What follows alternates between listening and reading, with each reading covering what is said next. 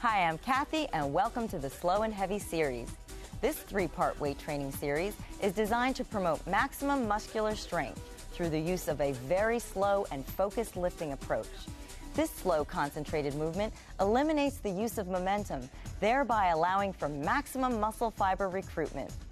It is the absolute perfect workout to help break through any and all strength training plateaus.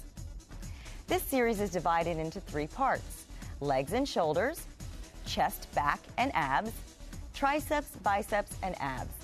Each of these workouts should be done once and no more than twice per week.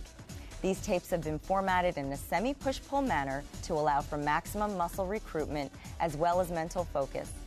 For instance, by putting your back workout, your pull muscles, with your chest workout, your push muscles, your mental and physical energy is able to endure more staying power since one muscle group workout does not pre exhaust the other.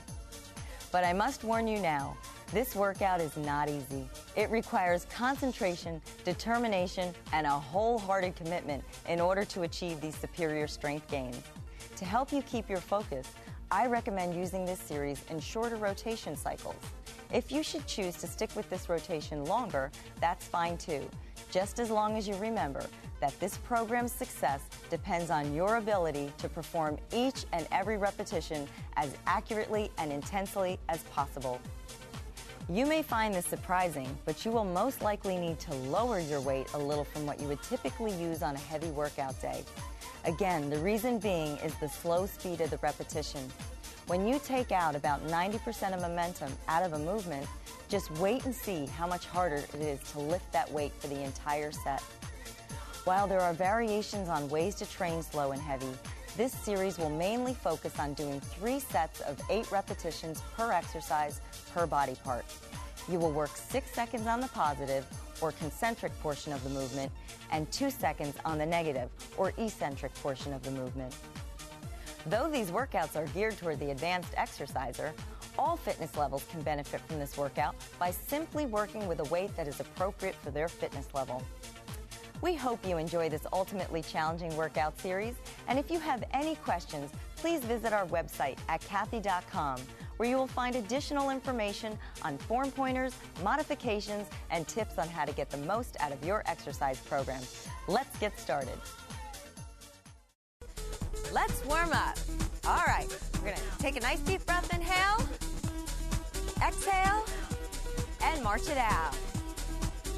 Now take it out wide in a march. Down, two, now press up real strong. Good. Do that again, come down for two. Down, two, and push. Really engage those pec muscles. Squeeze, up, do it again. Down, Good. Now you don't want your elbows to drop below the level of the step. Squeeze and squeeze. Up. Maintain that slight bend in the arm. Good. Go down two. Down. Keep it wide. And squeeze up. Come on. Up. Good. And press. Lift. Come on. Come on. Up. Let's do it again. Down. And press exhale as you push up. Go again. Really targets outer. And we switch right here towards center. Let's go again. Down. And squeeze up. Come on. Pull, pull, pull, pull.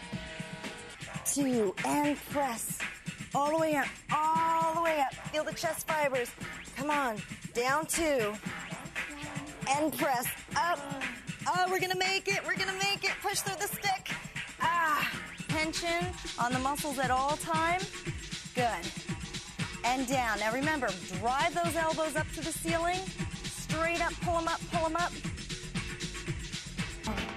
And use your back strength. Pull! Ah, excellent.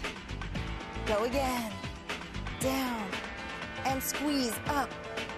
Up, up, up, up.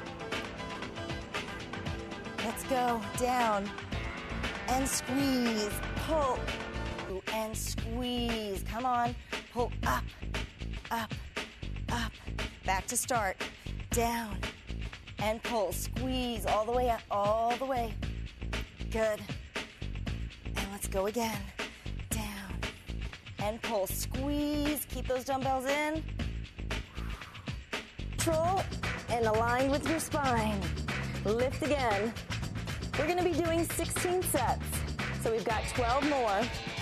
And down. The rest of the body there. And hold that position.